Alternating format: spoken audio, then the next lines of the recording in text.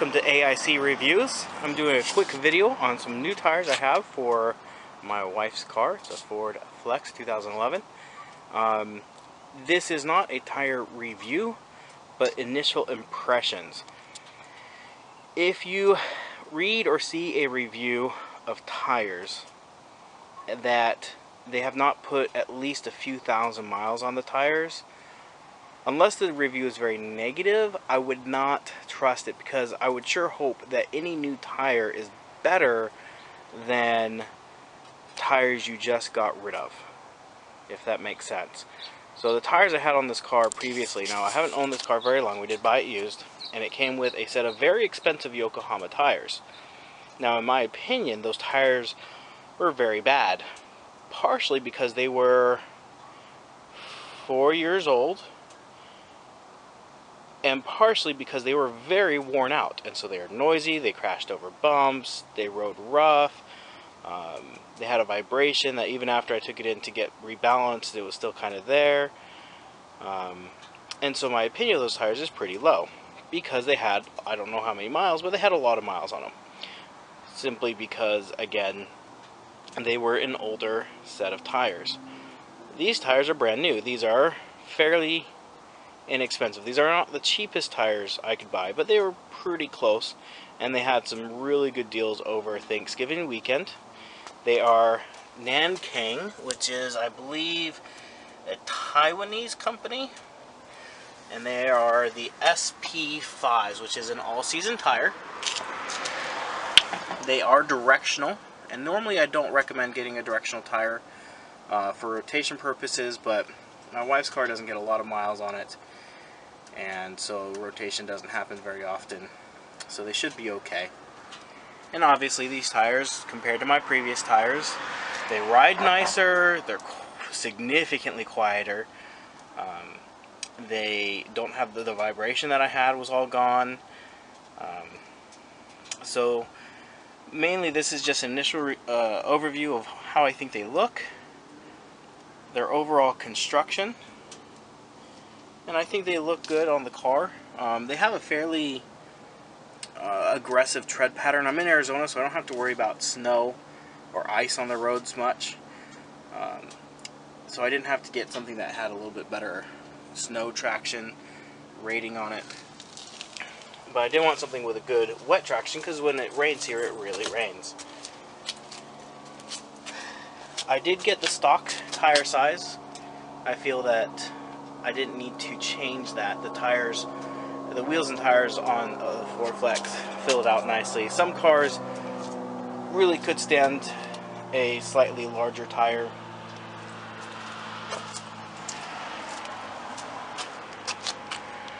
Now, just some thoughts in, in tire purchasing and, and tire ownership. I've said this in other videos, but I'm just going to repeat myself, so bear with me if you've listened to it before next to brakes, tires are probably the most important thing on your car. A tire affects your braking performance, it affects your handling, it, it affects the overall safety of the vehicle. And so having a good tire, a quality tire, is very, very important. Um, when I buy when I buy tires, a couple things I think about. Well, when I go to replace tires, a couple things I think about. First of all, I think about the tread depth, and I do replace them. I don't wait until they're completely worn out, but I do replace them when they have a few uh, one or two millimeters of life left. Um, just because if you read any of the studies, uh, braking performance decreases significantly the closer you get to those wear lines. Um, and I am in Arizona, and it gets very hot and it's very dry here in the summer. And so I do not keep tires that are older than four years old. They dry out. They start to dry rot, and when they get old and they start to dry rot, they become a hazard on the road. If you hit any debris, they're more likely to blow out. If you get them too hot or let them deflate too far, they can blow up on you when you're going down the road. They're a lot more likely to do that. And so I highly recommend that you do not keep tires more than four years. Five years is really pushing it. Whether that tire is worn out or not, whether you've used up its life or not, as far as tread depth goes, about four years I recommend replacing. Now if you live somewhere that's not as hot, not as dry, maybe you could push that out to five, maybe six years, but I really wouldn't go that far personally, even if I live somewhere where um, it wasn't so hot and dry. I would probably stick to my four year time because every time I've had tires older than that, I've had a problem.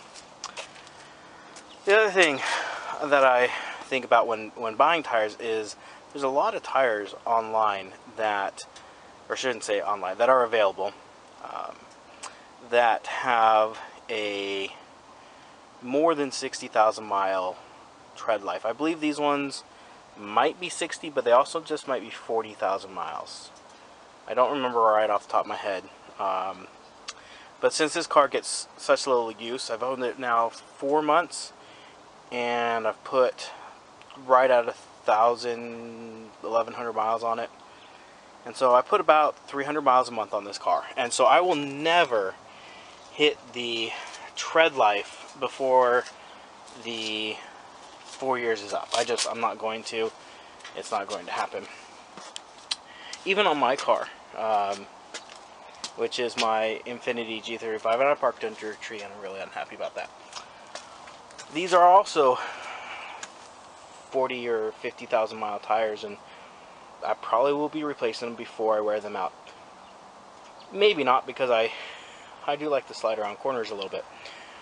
Um, but those tires that have, you know, I've seen tires with 70, 80, 100,000 mile life um, guarantee on them. And when you get a tire with that long of a life, it's not like you get more tread.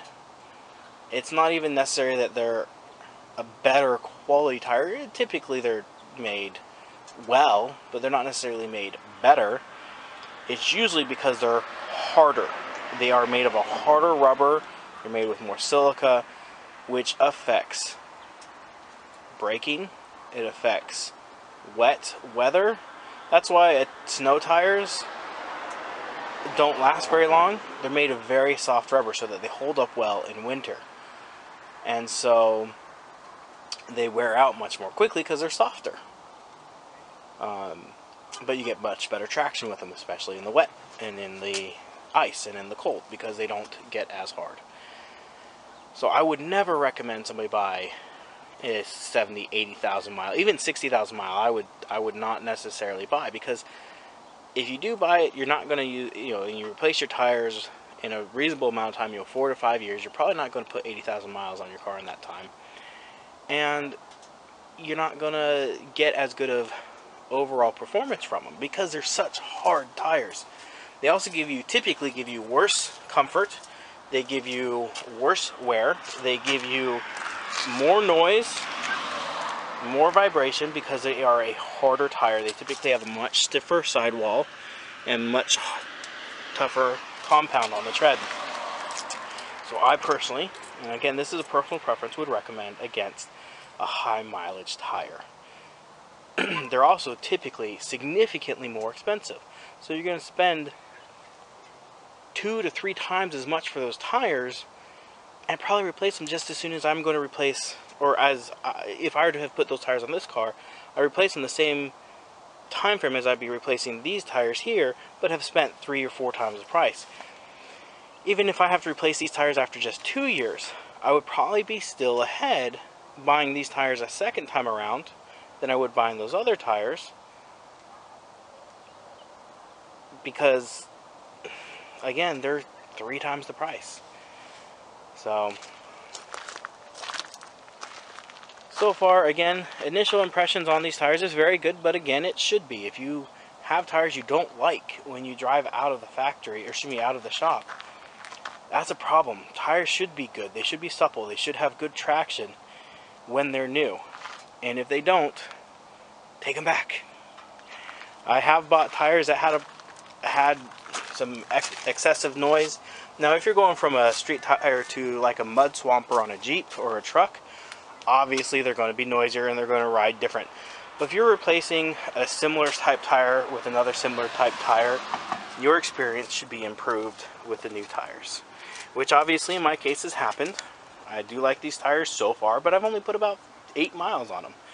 We'll see in about 5,000 miles. I'll follow up and do an actual review on these tires if they're still available. I I'll show you my Jeep over here. I bought a set of tires for my Jeep. It's been about a year and a half now. My neighbor has a leaking hose pipe I need to talk to him about again, but I bought these tires made by Hercules, and I really like these tires. These are a really nice tire, and they've done real well. Um, I've put a few thousand miles on them, a lot of off-road miles, and they've held up really, really well. In fact, much better than I was expecting them to with the amount of off-road and the kind of off-road I do. But the, I've run into a problem. They've replaced these tires with something else. And I, I, doing a review on these tires doesn't make much sense because you can't buy them new anymore. So the only place I've had a problem is here on this tire. I'm going to rotate this one to the back because it's rubbing up here. That's a different story. So if in a few thousand miles these tires are still available, I'll do a follow-up review. If anybody has any questions between now and then, they don't see a follow-up video and their tires are still available, more than happy to answer any questions about them. Uh, just leave a comment down below. One thing I keep running into is people have their privacy settings set on YouTube to where if you ask a question, I cannot respond to you. Um, you'll need to change that. Uh, plenty of videos on how to do that. Um, it's in your Google Plus preferences. Um, I think I had somebody ask me questions about my Cooper tires here, and I couldn't answer them because their privacy settings were locked. So I couldn't message them or, or reply to their their question, um, and so their question still goes unanswered. Um, but yeah, thank you for watching. Hopefully, my video uh, gives you some good insight. Again, these are Nankang SP-5s. They're an all-season high performance tire. Um, uh, Flex is not a high performance vehicle, but it does have a lot of horsepower and they were cheap. that was the main thing. They were very inexpensive over the holiday weekend, so that is why I purchased them. Thank you for watching and have a great